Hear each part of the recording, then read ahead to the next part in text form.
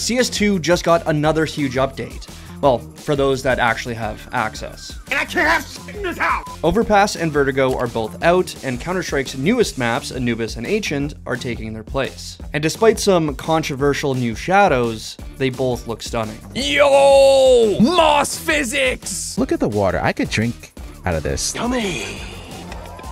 And you leave a little path? That looks fantastic. Oh my god, it looks so good and it feels even better. Oh, and our chicken pals can now swim. Oh! The chicken swim!